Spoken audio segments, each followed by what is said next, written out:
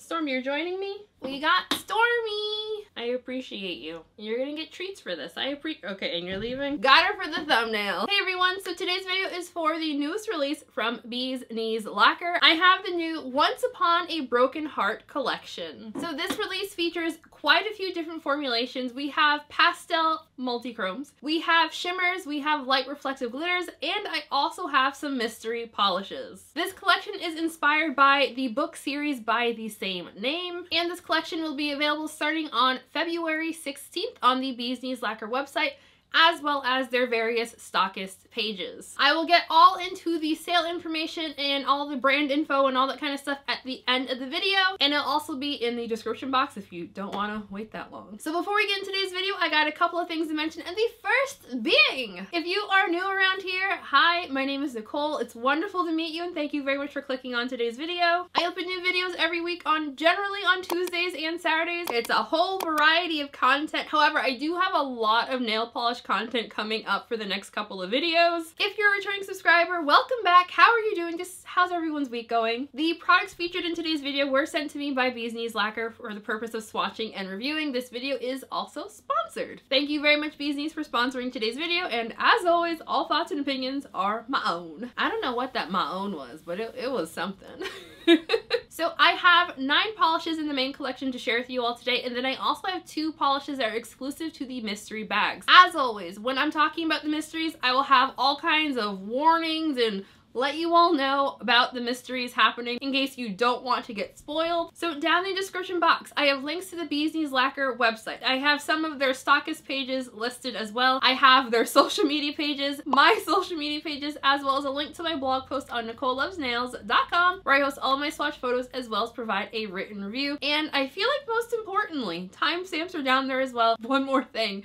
Regarding my blog post, I have two blog posts set up for this release. One blog post just has the main collection, and then the second one has swatches of the two mystery polishes that I personally received, and I also have a list of all the potential mystery polishes in case someone, I don't know, you want to get super spoiled, I suppose. So I have those both on NicoleLovesNails.com and they're linked in the description box. Let's just get into this video. First up, we have Heartbreak, which the brand describes as a periwinkle pastel multichrome base that shifts from an emerald to aqua with sparkles of pink and silver light reflective glitter. Heartbreak had a fantastic formula. If you're looking at this one, you're saying to yourself, uh, didn't we just see this last month? This is very similar to last month's same lie lilac. In person, the biggest difference between the two that I noticed was the color of the shimmer. The added pink sparkles to this one is the biggest difference between this and same lie lilac. I will have some side-by-side -side comparisons coming up in a second. Much like same lie lilac, I do not really see the multi-chrome aspect of this polish to my eye. This is a very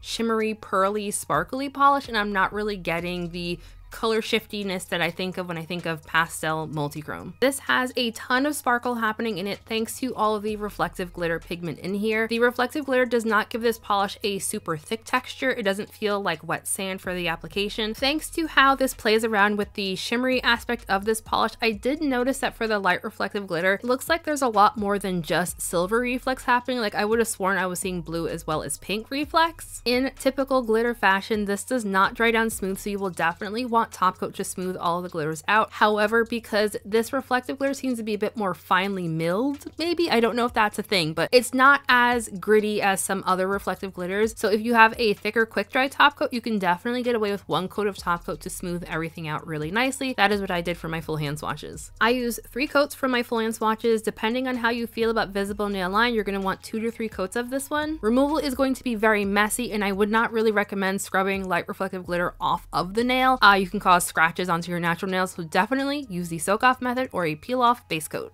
Here are some bottle shots of Same Lie Lilac and Heartbreak side by side. You can see the pink sparkliness really well in the bottle. In my opinion, the only true difference between these two polishes is Heartbreak has pink in it. I tried to do a side by side here on one nail, but I don't feel like you can really see the differences too well. Side note, it's surprisingly difficult to paint two colors on one nail like this. And now we have Hope is a difficult thing to kill, and the brand describes this one as a soft gray base with a strong purple to pink shifting shimmer. Hope is a difficult thing to kill had a pretty good formula. As you can see here, this is a very sheer polish. So you definitely need to build this one up to get the most opacity. I feel like it's sheer in the sense that it's like an almost milky base. I did find that the base itself seemed a little bit patchy and uneven. I really wanted to stop in two coats for some reason, but I just didn't like how the gray base looked on me personally in two coats. So my full swatches do show this one in three coats plus glossy top coat. Because this polish is so sheer, even though the shimmer is super strong, I did find that if you have any kind of imperfections on your nails, you will still be able to see them through all three layers of this polish. Which admittedly is kind of a bummer, but I do think this one still was really pretty. I just loved how glowy the pink to purple shimmer was. You do not get any brush strokes through that shimmer either, which I definitely appreciated. Super easy removal with this one, scrub it off if you want. Next up, we have I Forgot to Breathe, which the brand describes as an orchid purple base with a strong gold to green to blue shifting shimmer. The brand named this one perfectly. This shimmer in here is just wow. Definitely, I could see how someone could potentially could forget to breathe looking at this color. It is absolutely stunning. This is another super sheer polish, unfortunately, so you gotta build this one up. And even in three coats, you will still have some visible nailing with it, but the shimmer is so damn beautiful. And in case you couldn't tell, I am a lot more tolerant of visible nail line when I have a contrasting shimmer that really just knocks my socks off just looking at it. I like it a lot. The formula on this one was absolutely fantastic, not too thick or too thin. You did not see any brush strokes through the shimmer either. I also didn't see any like pigment specks in the shimmer. I will call this one a two to three coater depending on personal preference. On my nails right now, they're as short as they can get, so I didn't see a huge difference between the overall look of the polish between between two coats and three. Folks with longer nails will probably see a bigger difference in opacity though. And now we have Little Fox, which Bee's Knees describes as a rose gold base with a strong gold to green shifting shimmer. Little Fox had a fantastic formula. I don't know if my eyes were just playing tricks on me, but when I was looking at this in the bottle, I, for whatever reason, thought this was going to be like a full on rainbow on the nail. It's not. The shimmer is very much that gold to green. I feel like in the bottle, I could see like a hint of blue at extreme angles. On the nail, not really so much. I fully admit comparing this one to one of my favorite polishes by this brand really made me just like, oh, oh, okay, you're, you're nice, I guess, to this one. But I don't think that makes this a bad polish at all. The shimmer is strong and so glowy. As far as the base goes, I would never have called this a rose gold. My gut is saying call this one like an orangey coral. Like it's a little bit red, it's a little bit pink, it's a little bit orange. So I'm just gonna call it a coral. On me, it's pulling incredibly warm toned. Not quite lobster hands, but definitely I spent some time in the sun. I'm gonna call this one a two to three coater depending on personal preference for my full hand swatches, I did two coats for this one. Probably said this already, but I just filed my nails down. They're the absolute shortest they can physically be. I do think if my nails were a little bit longer, I would likely would go in for a third coat. So, you know, two to three coater depending on personal preference. Nothing in here is to dry down textured, super easy removal, and I had no issues with staining. And now we have One True Love, which the brand describes as a mid-tone grayish base with a glowy red to orange shimmer. One True Love had a fantastic formula. This is going to be another two to three coater depending on personal preference and application style. For my full hand swatches, I only did two coats. For whatever reason, when I was doing my full hand swatches, I decided to go in for three. I don't remember why. I don't apologize because I never make, you know, mistakes. So here's a third coat. I don't think it made a big difference, but you know, let's keep moving forward. Where Hope is a difficult thing to kill has a more like sheer milky kind of base. One True Love has a significantly more opaque base. Again, I'll still call it a two to three coater depending on application and personal preference. Looking at my footage, I do have some visible nail line with this one. Also, looking at my footage here, I feel like I got a little bit of shrinkage on one nail too. This is a really nice, kind of muted color. I really like how glowy the shimmer is in here as well. This is going to be one of those shimmers that depending on lighting, the shimmers are either going to look like crazy in your face or more muted like it's showing here. So that is One True Love in three coats plus glossy top coat. Once again, super easy removal, no issue with staining. Next up, we have Prince of Hearts, which the brand describes as a blackened multi-chrome base that shifts between a deep indigo to red to gold at extreme angles. Prince of Hearts had a fantastic formula. I don't know why I was struggling so much on this swatch. I don't know what was going on here. But again, fantastic formula, slightly on the thicker side, but not at all difficult to work with. In the bottle, I thought this was to be really similar to February Polish Pickups Polish Hot Dog from the brand, other than the fact that this is like a deep purple with like a reddish tone to it. It's not really that similar to Hot Dog. It also has like that nice bit of gold at extreme angles. I'm not generally the biggest fan of darker colors, just it's just not my thing personally, but the color shiftiness and just like the hint of gold. I love gold. I really enjoyed this one. So my photo show Prince of Hearts in two coats plus glossy top coat. I'll call this one a two to three coater, but I feel like most people are probably going to be good in two. And now we have Poison Fairy Fruit, which the brand describes as a sibling to lemon. This is a clear base with a strong blue shimmer as well as a scattering of silver light reflective glitter. Poison Fairy Fruit had a fantastic formula. I will fully admit, I judged this polish very harshly solely because lemon was one of my favorite polishes by the brand last year, and I probably would add it to my list of all-time favorite Bee's Knees shades ever. So for me personally, this did not live up to the hype that I I have for lemon, but that's just me personally. Also, a quick question, do you all like seeing light reflective glitter shown this way with like flash? I feel like I still prefer in natural lighting and I'll keep doing natural lighting as long as like I have access to natural light when I'm swatching, but I will attempt to stop complaining about the flash and show you all with flash if y'all want to see flash. And in case you missed it, yes, I did just say I will flash you all if you ask nicely. Oh my.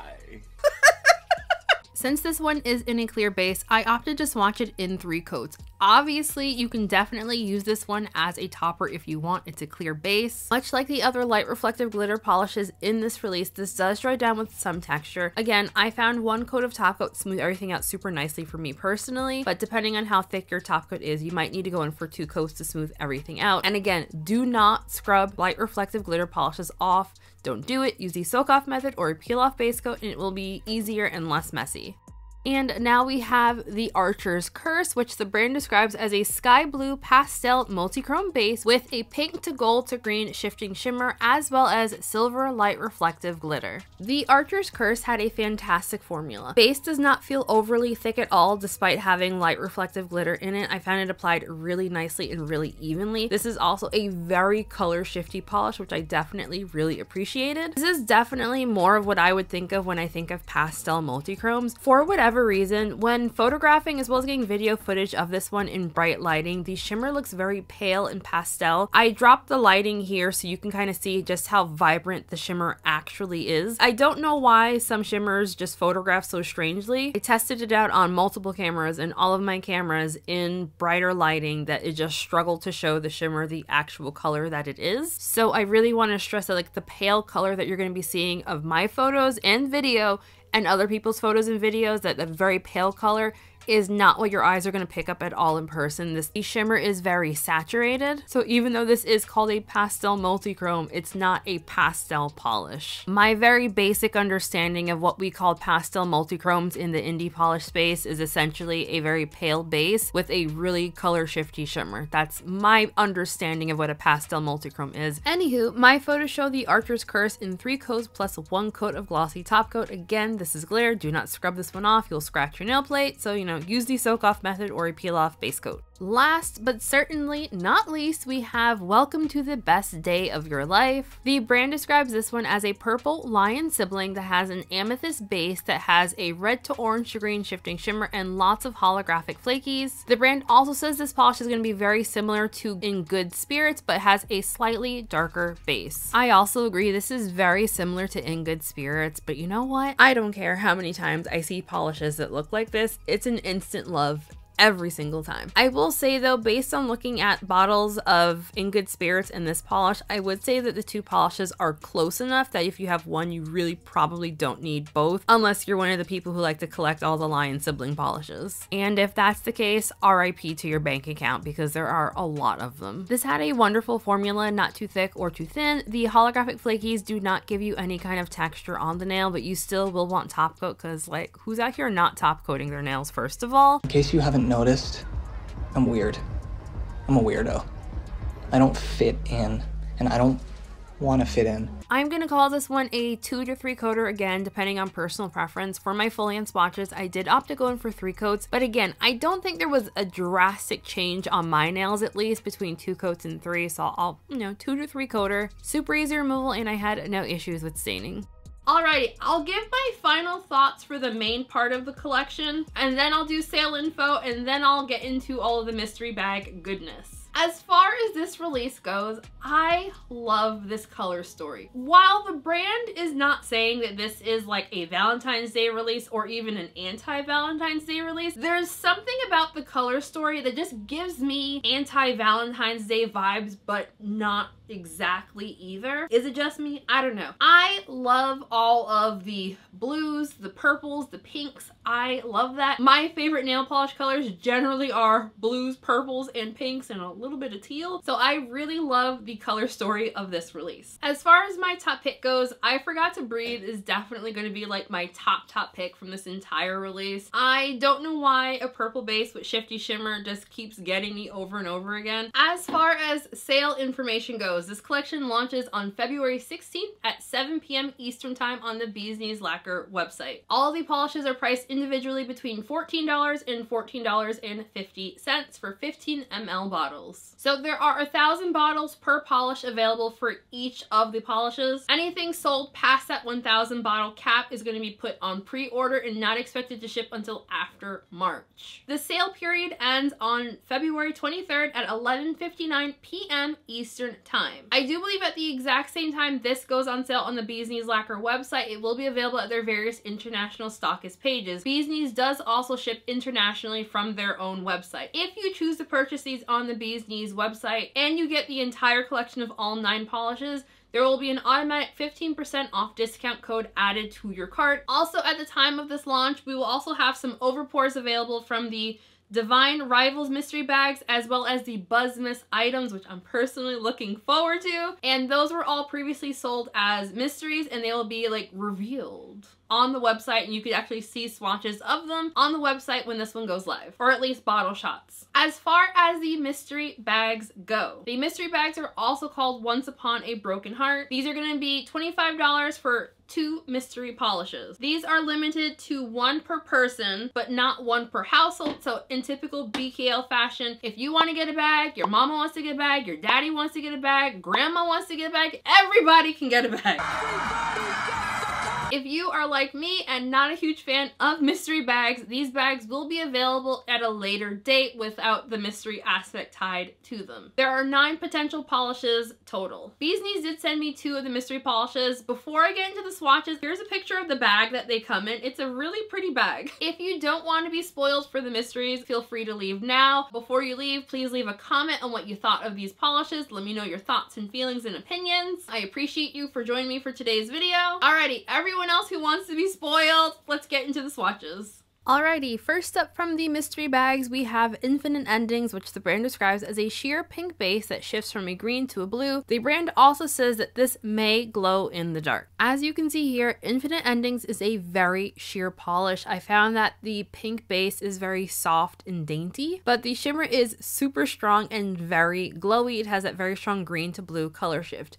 You get a little bit of brush strokiness when you're initially applying the polish, but I found once the polish dries down, you don't get any brush strokes through that shimmer. Because this is such a sheer polish, you can very obviously use it as a topper if you want. I chose to build this one up into three coats. I personally really liked how this looked on me in three coats. This is another one of those shimmers that bright lights seem to wash out the color of the shimmer itself a little bit. I feel like in video, you can see in the green to blue color shift a lot easier in the shimmer, but I feel like in my photos, like like the shimmer just looks super washed out, which I didn't find to be the case in person. So the brand does say that this polish may glow in the dark. When I charged this one up with my blacklight flashlight, I was able to get it to glow a little bit, but you can see here that it fades very, very quickly. So as a glow in the dark polish, I don't think it glows very well. So I don't think they're trying to build this as a glow in the dark polish because like it doesn't glow very well. As like a shimmer polish, it's absolutely fantastic. Well, for this one will be very easy. However, the glow in the dark dark. I'm hesitant to say glow in the dark pigment is causing the glowing, but whatever it is that's causing the glowing gives the polish like a very slight rubberized texture feel.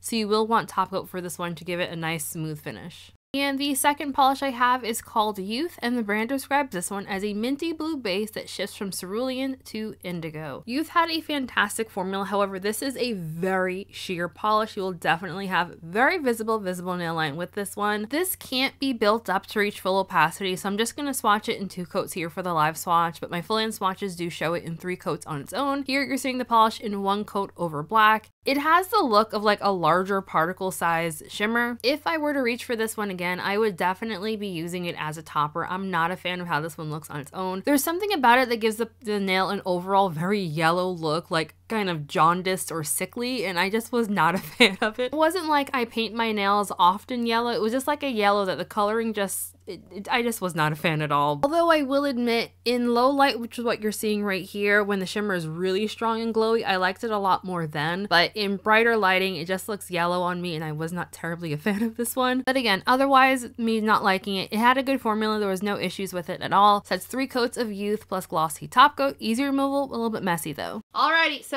that's it for the mystery polishes. As far as my thoughts and feelings on my mystery polishes, I really like the Infinite Endings polish that I received. Alrighty, thank you for joining me for the mystery spoilers. I'd love to know what everyone thought of this release. Like, planning on picking up, y'all know the drill. Let me know all your thoughts and feelings. Do you all want to do a live stream for this release to do some comparisons? I don't know. Let me know if you all want to me to do comparisons for these. And since you made it to the end of the video, I'm gonna just award you, award you, reward you? Reward, yeah, reward, not award. I'm going to reward you all with a little sneaky peeky of upcoming Bees Knees. I have their March Polish Pickup and March Hella Hemi Creations popped up in the corner of the screen. You didn't hear it from me though, okay? Like, snitches get stitches. In case you are unaware, you automatically sign an NDA when joining this channel.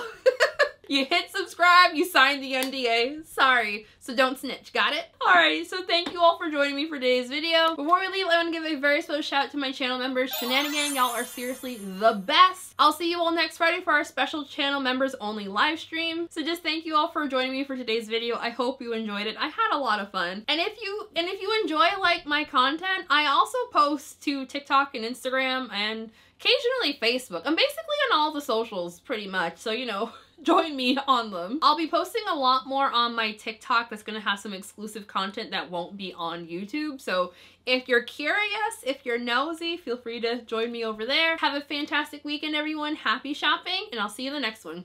Bye. Stormy, what you doing, Storms? Storms, what you doing? Say bye to everyone for the video, okay? Storms. Say bye to everybody. okay then. Big ass when I get high.